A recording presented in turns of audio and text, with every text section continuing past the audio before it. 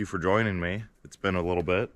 April was uh, pretty Aprilish, and the weather was pretty crappy the whole time. It was pretty much just rain and 30 degrees the entire month of April. It was pretty miserable. So not much got done around here, but it seems like the weather's finally breaking. We've had about a week now of 60, 70 degree weather.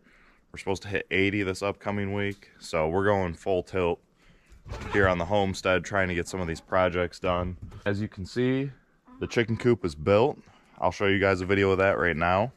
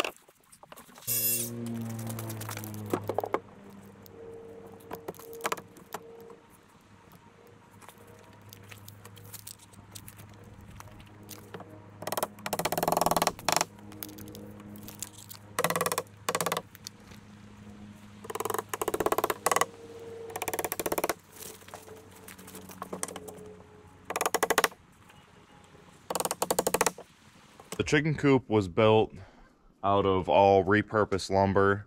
I went to a local snowmobile dealer and picked up some of these big crates that they ship the snowmobiles in. I deconstructed those and constructed this beauty. When I first started, I had planned on only eight chickens. As any chicken owner knows, it doesn't end up that way. Things escalated pretty quickly. Now I have 15 chickens. So the coop that I made originally for the eight chickens is no longer big enough, in my opinion, is no longer big enough for 15 chickens. Now, they all go in there at night. They're, they do fine. They all get along. So that's kind of why I stopped where I'm at with the coop. I didn't want to put any of the siding on or do anything else until I get it into its final spot as you could see when I was building it, there was still probably six inches of solid ice on the driveway here. My plan is to build some skids on the bottom, hook this thing up with the tractor, and drag it to its permanent home in the back. You can see I have all of my milled lumber over here off to the side. That's all going to go back there with it. And we're going to make a permanent chicken home, permanent chicken coop and run back there close by the garden. Let's take a walk into the back and I'll show you what's been going on there. If you go back a few videos, when I was talking about my plans for the homestead around here, I had talked about cutting down all the trees where the house is, obviously. Um, but then I had also mentioned that I was going to be cutting some trees down for where the garden was going to go. About two weeks ago, I came back here to where the garden's gonna go and I cut down all of the big trees that were back here. So unfortunately, when I was back here cutting all of this down, I learned the hard lesson that to make a GoPro actually record what you're doing, you have to push the record button. So, pro tip for all you guys out there um, if you're recording something, make sure you're actually recording it.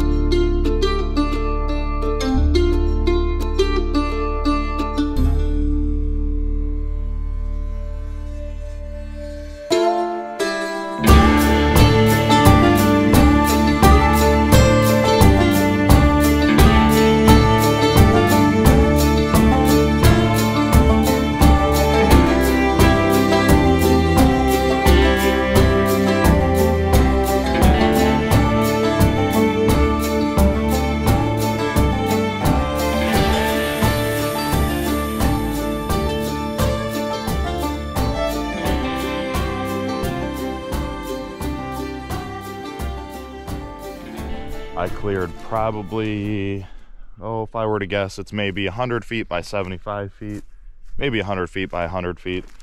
Um, most of these were little maples. There were a couple cherry trees. There's this huge quaking aspen back here. Um, a lot of the maples were, they're pretty small, so a lot of that's just going to get used for firewood. The cherries, unfortunately, were basically completely rotten all the way through up the center. Um, some of that will get used for firewood. Some of that's going to get used in the garden. I also rented a chipper the weekend that I cut down all of the trees and chipped up all of the brush. So that way I have plenty of wood chips for the chicken coop, but also in the garden. Um, I plan to do, set this coffee down. I plan to do I'm probably going to pronounce this wrong, hugelkultur. And it's basically you take sticks, green material, some dead material, you layer that with some dirt and some compost, and you basically plan on that. And then it all, the thought is, is that it all decomposes down and eventually all turns into soil.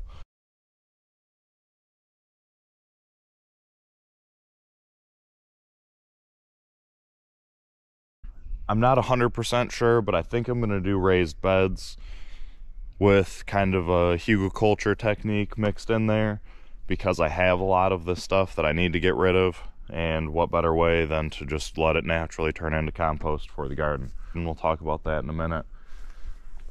This big quaking aspen, this thing is pretty big.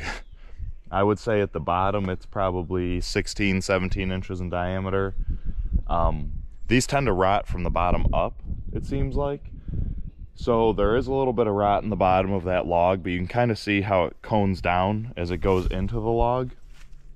I'm hoping that three, four feet up into that, it's usable wood and it's not rotten. So we'll have to see. My plan is today to get back here and cut up the rest of the firewood, get that moved, get the logs that I'm saving to mill, set aside and clear an area because right back here is where the chicken coop and the chicken run is going to go. I want it to be close to the garden. That way I can give the chickens any sort of, you know, scrap from the garden. And then I can also use their bedding for the compost in the garden and it's nice and close. That way I don't have to move everything all over the place. That's my plan today.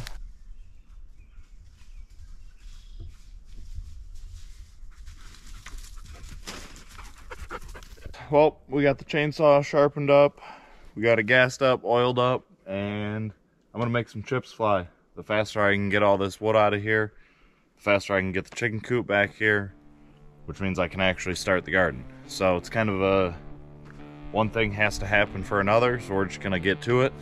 You guys don't worry, I'll do all the hard work, you just sit back and watch, okay?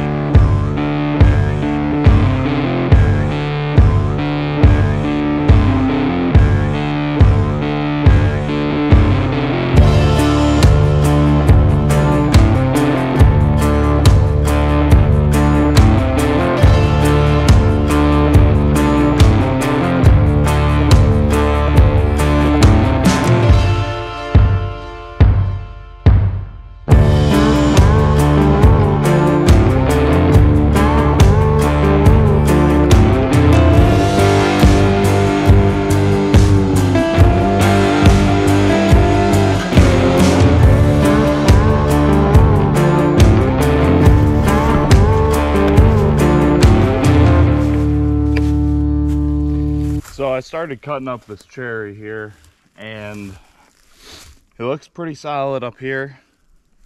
And it looks like the rot is getting smaller as I go. Start cutting off 16 inch chunks as I go down. Hopefully I might be able to get a decent log out of there. Otherwise it's just all gonna end up being firewood. So get back at it.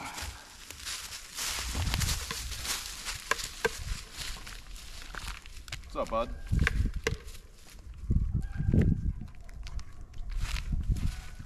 Ball?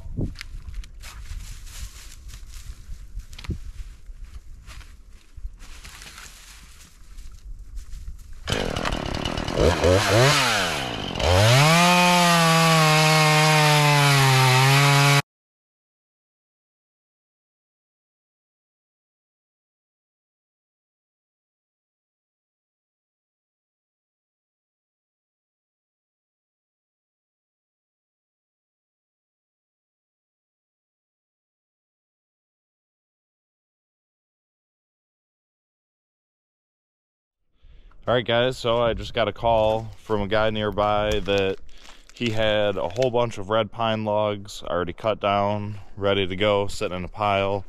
These are from last year. We're getting a load of free logs here. But get back in the truck.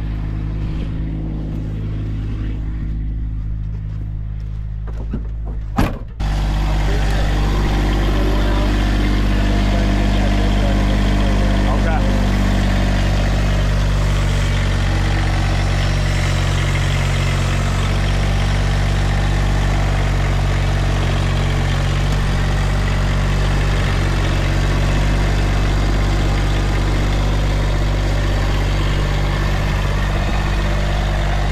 Can you try and get it right here?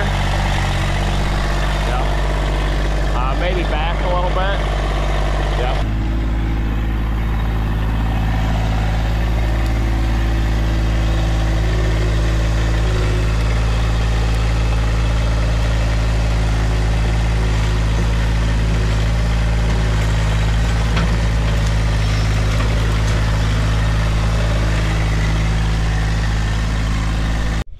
I'm gonna get these straps undone, fire up the tractor, and we're gonna get this thing unloaded.